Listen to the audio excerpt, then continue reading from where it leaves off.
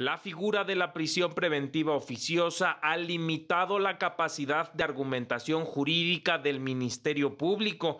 Esto lo aseguró Gilberto Nava, secretario auxiliar de acuerdos de la Suprema Corte.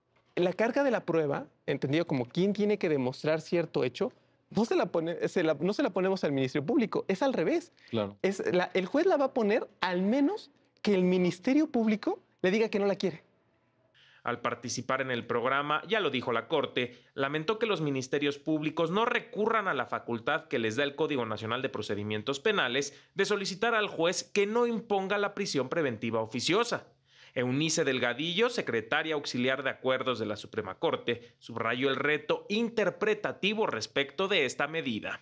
El 167 tal vez no está apegado a, a lo que ha dicho la Corte Interamericana, pero sí está apegado al artículo 19 constitucional y entonces esto sí genera un caos. Cabe destacar que la Corte Interamericana está por resolver el caso Tzompaxtle-Tecpile contra México, en el que se pronunciaría sobre el arraigo y la prisión preventiva oficiosa. Poder informativo, Mario López Peña.